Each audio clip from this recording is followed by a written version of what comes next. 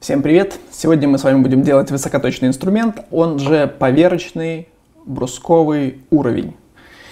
А с помощью китайских бурбалок и 3D принтера с небольшой рассыпухой компонентов.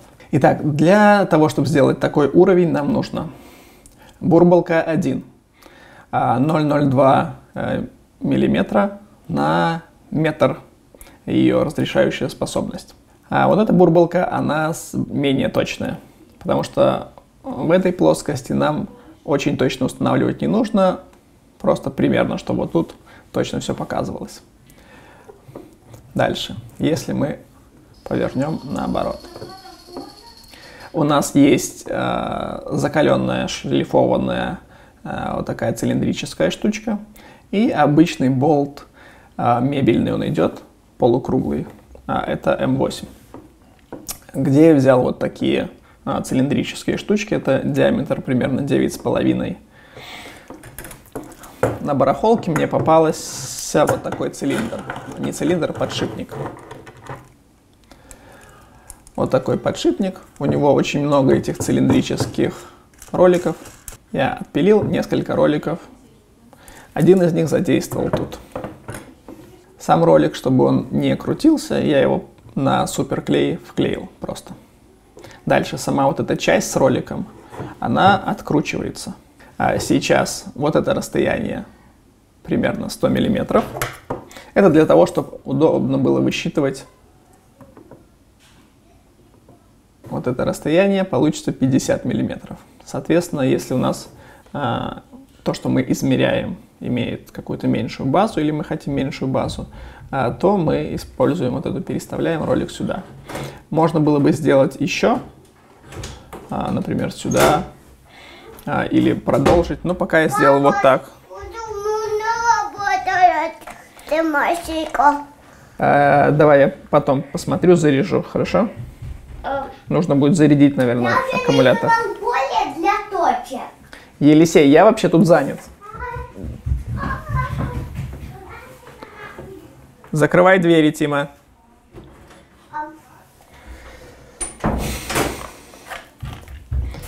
Итак, поверочный уровень, и мне нужно зарядить вот эти вот машинки. А, в идеале, чтобы а, плоскость всегда проходила, должно быть три точки. То есть сейчас у нас есть ролик, он ровный, но если мы поставим на какую-то неровную поверхность, то есть он может немножко гулять вот так. Соответственно, вместо этого ролика, возможно, я когда-нибудь сделаю э, два, два винтика, например. Два винтика, которые можно будет выставлять, чтобы в этой плоскости у нас э, все было четко. Потому что сейчас, когда мы выставляем, да, мы вот этой крутилкой, мы вот этой крутилкой можем выставить только основную бурбалку. А вот эту бурбалку нам, получается, нужно выставлять какими-то другими способами. Или что-то подставлять, но лучше выставлять уровень в этой плоскости того, что мы измеряем. Очень сложно что-то показывать, потому что э, стол, на котором это стоит, очень неустойчивый. Итак, например, вот почти установилось. Дальше мы чуть-чуть подкрутим. Даже тяжело мне кажется, даже от дыхания это а, перемещается пузырек.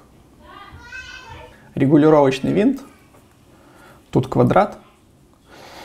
А, это М8, а, не очень подходит, потому что очень большой шаг резьбы, но в первой версии я решил сильно не заморачиваться, сделал так.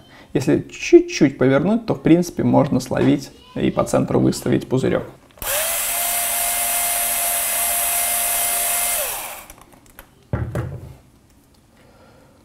Ролик выглядит подобным образом. А, тут есть гайки М3 с двух сторон, отверстие под винты М3 и под ролик отверстие, которое просто все вставляется. Ну, как я говорил, на суперклей я его прижал.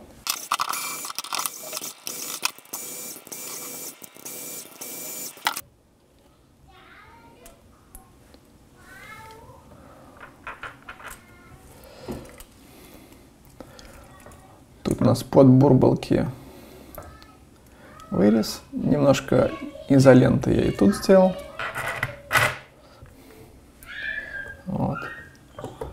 Наш пузырек. Я делал модель конкретно под пузырек вот э, с такой пипкой. Ну и в целом полностью размеры снимал. И второй пузыречек. А финальное улучшение сделал, ну как предфинальное. А, взял просто от какой-то коробки а, кусочек полиэтилена, где-то миллиметровой толщины, и сделал небольшую защиту этих пузырьков, ввиду того, что они стоят денег, и их нужно ждать с Китая, если что.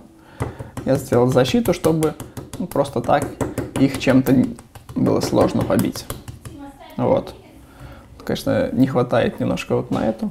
В идеале, конечно, эту защиту сделать из какого-нибудь монолитного поликарбоната, например, миллиметровой толщины, и по форме ровненько вырезать. Но пока, я думаю, что сработает и так. В следующих сериях я покажу, а, как я делал поверочные разные линейки, что я делал с этим уровнем.